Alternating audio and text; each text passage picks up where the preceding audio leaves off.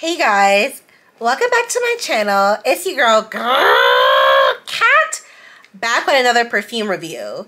So, um, if you haven't noticed, I'm recording these videos um, separately and back to back to back. So, yeah, if you notice, if you notice, if you peeped. So, today I have to review uh, the, but these are all perfumes I got recently back to back to back too. So, like, I mean, it makes sense to record them back to back to back as well too. So yeah. But anyway, so I am reviewing the Carolina Herrera Good Girl perfume. I had this perfume I know as a dupe from Dossier at one point in time. I don't think I have the bottle. I have the bottle anymore, but I know I've had it as a dupe. So I'm glad to actually let's test it out and get the real one. First of all, I got the gift set and it came, I don't have to package anymore. I had to, th I threw away the packaging. So, you know, it wasn't very extravagant. I got it from Macy's. It wasn't very like, ooh, ah, to keep anyway. So, you know, it was okay. It was pretty cool, but yes. But I got the gift set. I think this is the biggest bottle they have, not the one ounce, but I got, it came with like this golden shimmery type of elixir with it as well too. So I was like, ooh, this is gonna look really good on my skin, especially if I wear this in the summertime. Uh, let's go ahead and try that all out now so you, you guys can get a good feel for the body oil. Um, you get like a little shimmer. I don't know if you guys can see that.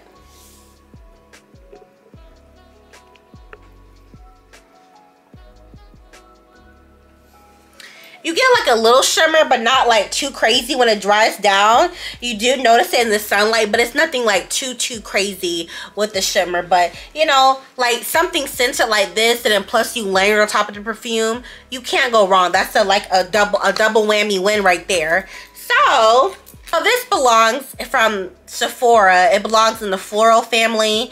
The key notes are tuberose, jasmine, and tonka bean. So when I got, when I sprayed the perfume, the opening is very loud, very bold, and you would think it would be too much of an overpowering scent when you first spray it. And it kind of is just a tad bit, a little bit. And it kind of gives off a little bit more of a masculine smell in the very opening of it. And let me just talk about the, for, for just a quick second, the spray of it, the spray. It's very like a fine mist. I don't know if you guys can see that, but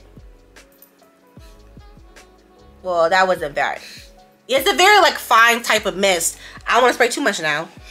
But it's a very fine mist perfume. So you can like be able to spray everywhere. But yes. To be honest, I did like, I did, originally I thought I was not going to like it. Because I was like, I, even with the dupe I had, uh, I thought I was not to like it. Because I was like, uh, it's kind of very, giving off very masculine. I was like, I don't know about this.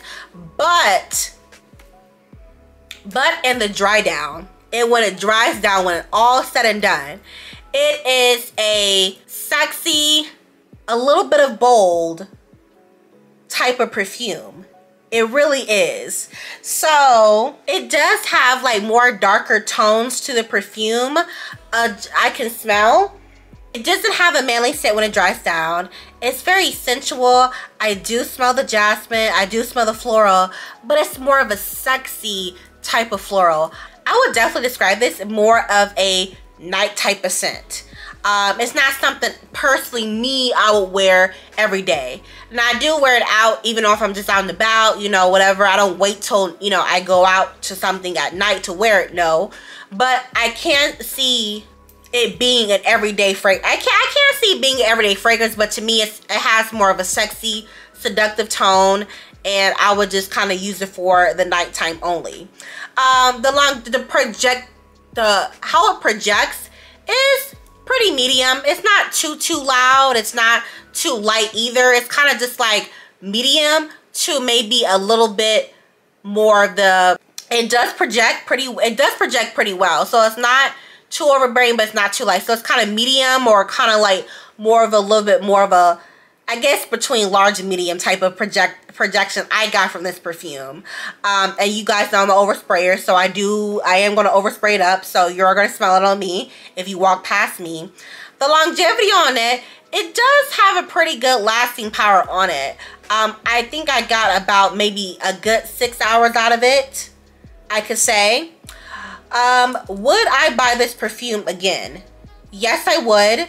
Um, but I would, if you're not looking, because it is the the just for the bottle alone, it can cost around. And I always try to buy the big bottle because I know overspray, so the one ounce just isn't gonna cut cut for me. And like I must, I have to have like a, and I do have a, quite a bit of perfumes, but still, I I do like the overspray. So one ounce was not gonna cut it for me. So can't see me buying this, but also the dupe I think from Dossier where I bought it from.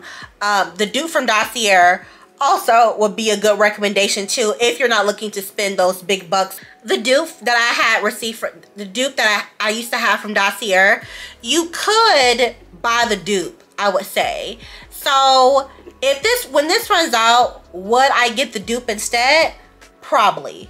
It's not my most favorite spray, to be honest. It's not like, oh my gosh, I just have to have it. You know, it's my top 10. But I do see why people like it. It's very seductive. It's sensual. It's a nighttime fragrance. It has a good projectivity to it. It has it's part of the floral family. I do smell the jasmine. Um, would I recommend it? Yes, absolutely. But for me, I wouldn't buy the real thing again. But that's just me and my honest opinion. But yes. But that is it for the video. If you guys liked it, please like and subscribe to the channel. I really appreciate it. And as always, it's your girl, Cat, signing out. Bye. Mwah.